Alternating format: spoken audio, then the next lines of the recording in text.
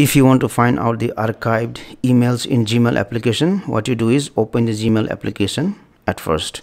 Now suppose if you archive this email for that one you will tap on this one and then you will select the archive button.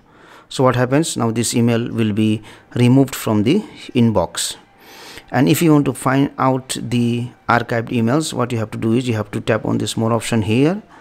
Then you have to go down and you have to select this option all mail. So here you will be able to see the archived emails. For example this was the email that i had archived.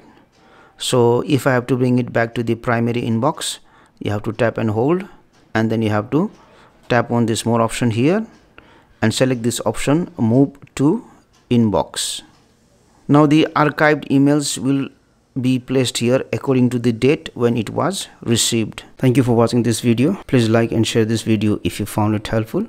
Also click on the subscribe button and hit on the bell icon to get the notification of our latest videos for free